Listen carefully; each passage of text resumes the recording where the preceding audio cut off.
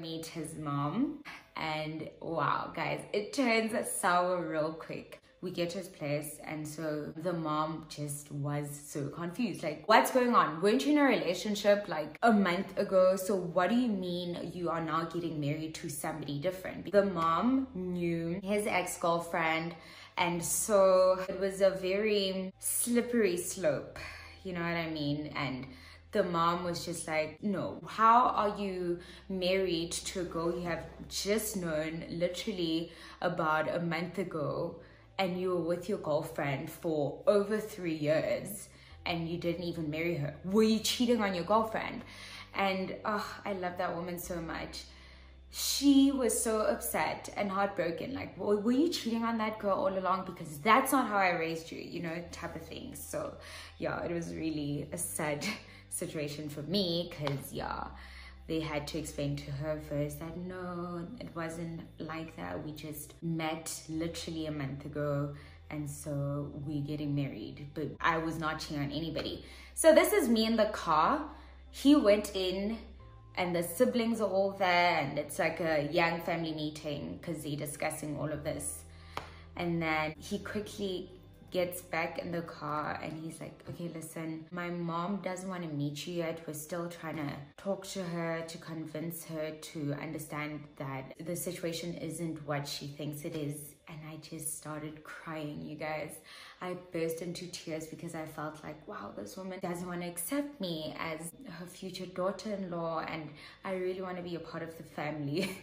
guys, I know this is sounding so crazy because this is literally within a month and so yeah, this is me bursting into tears and I'm like, okay, I really feel like she doesn't want to accept me and it was such a painful situation. But eventually she quickly came around, literally after a couple of minutes or maybe an hour, my man gets me in the car and he's like, you can come in now.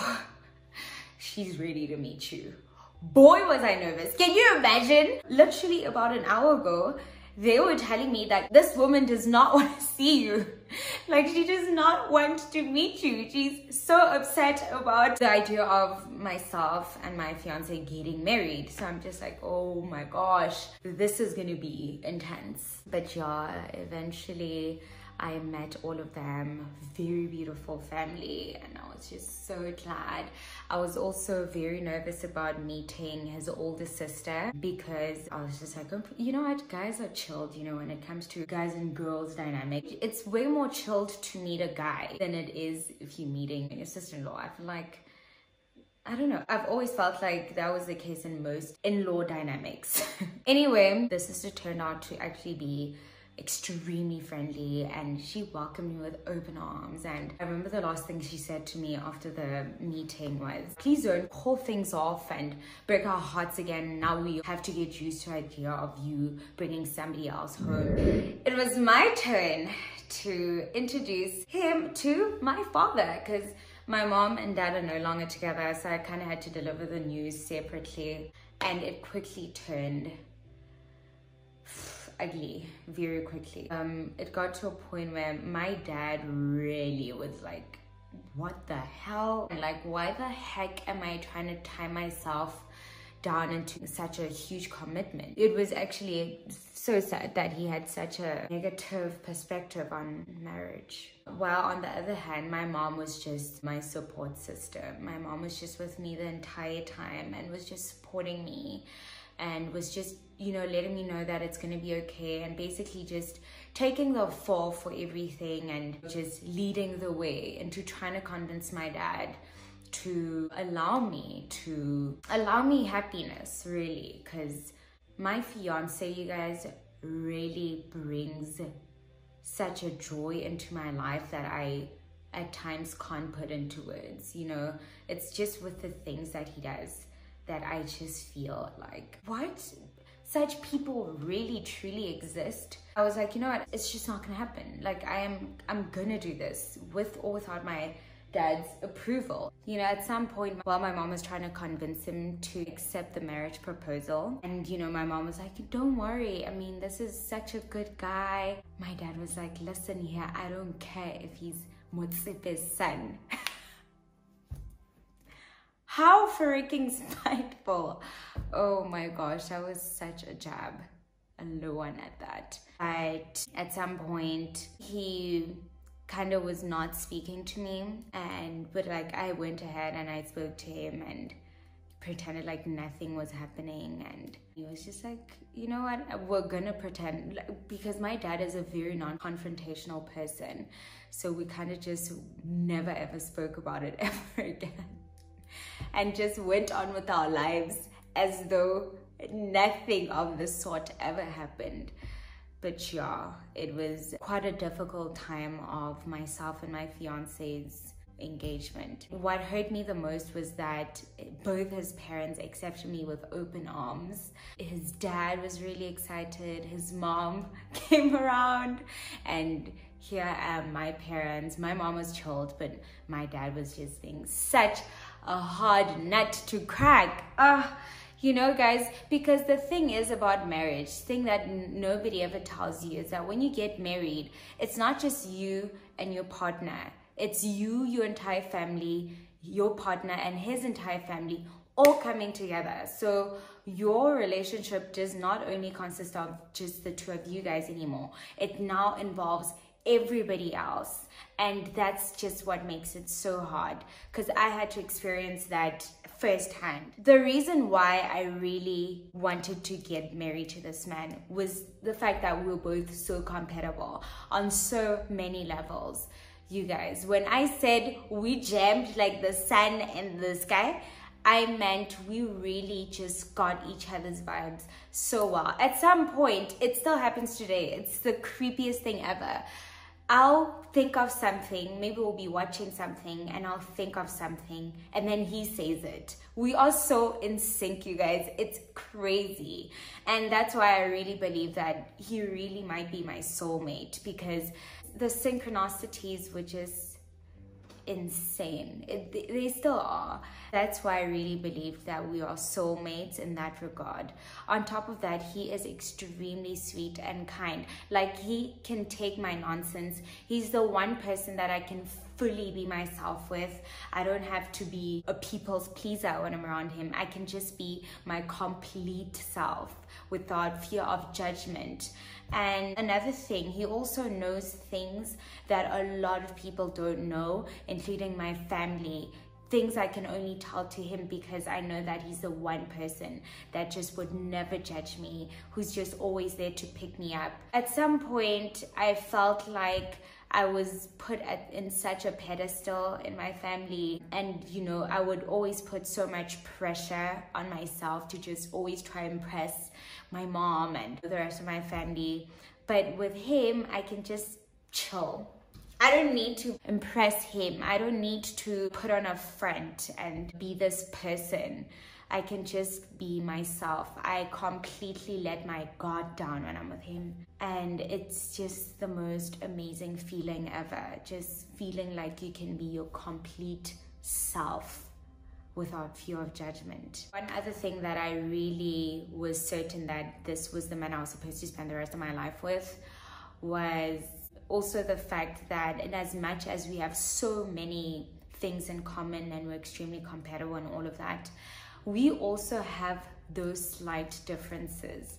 Like, for instance, he is a very content person. He's self-content. He never pressures himself to try and impress the next person. He's content with what he has now, what he has achieved, and he's completely content with that. He puts zero pressure on himself.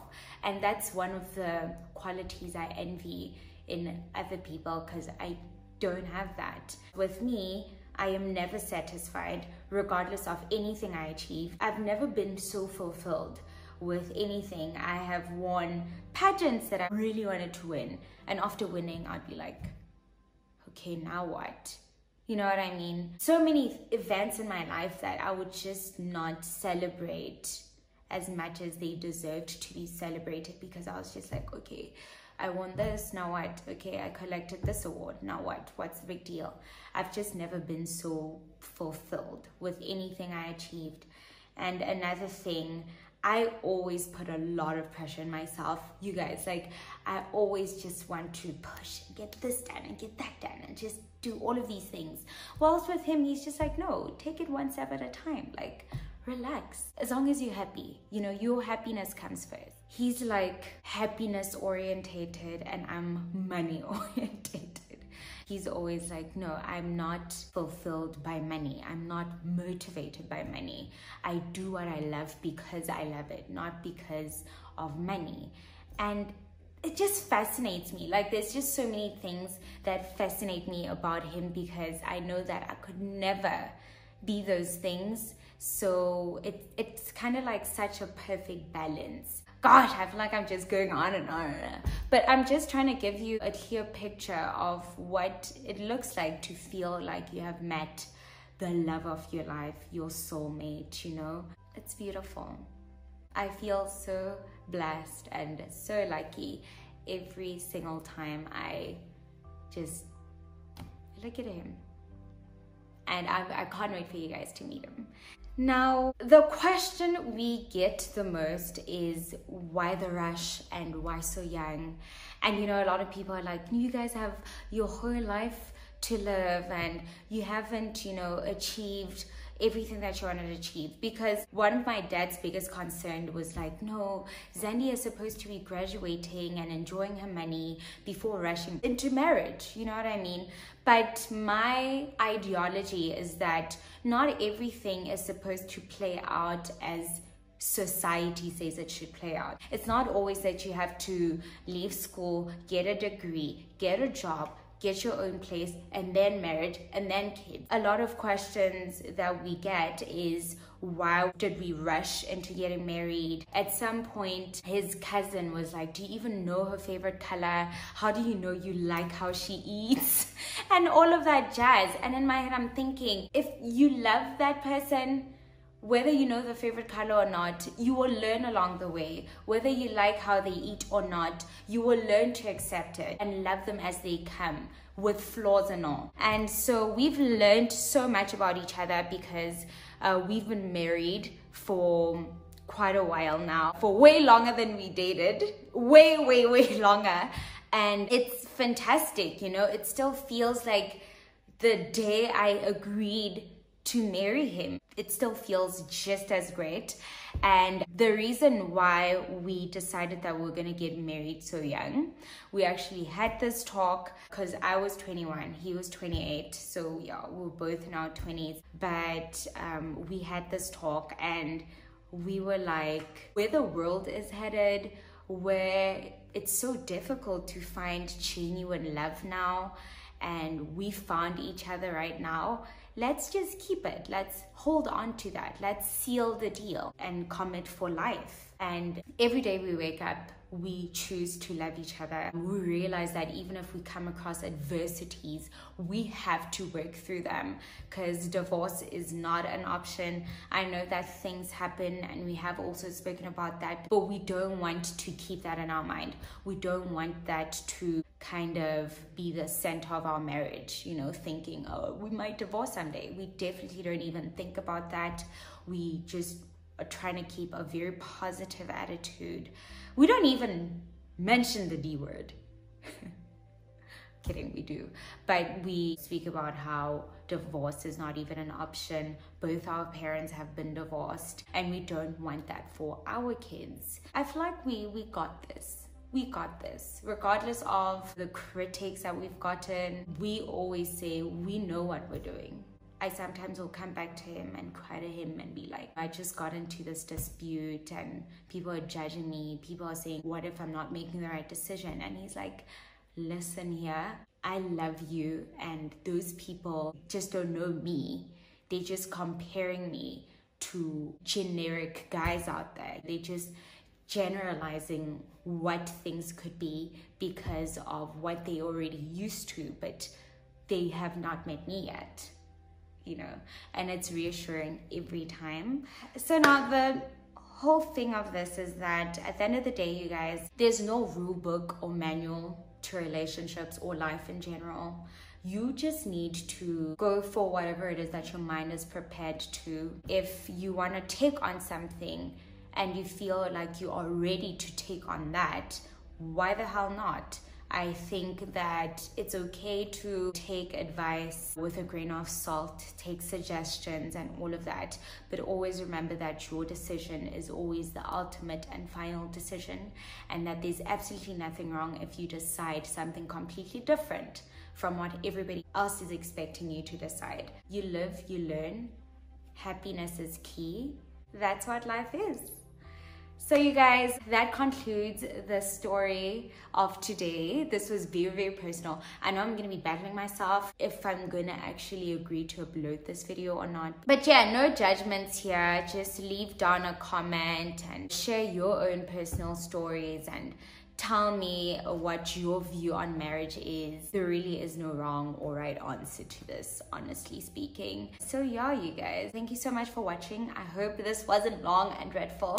But yeah, see you on the next video. Don't forget to leave me a like. Don't forget to follow me on Instagram. And of course, don't forget to hit that subscription button as well as that notification bell below so that you're notified every single time I drop a new video. I love you guys so, so much. Bye.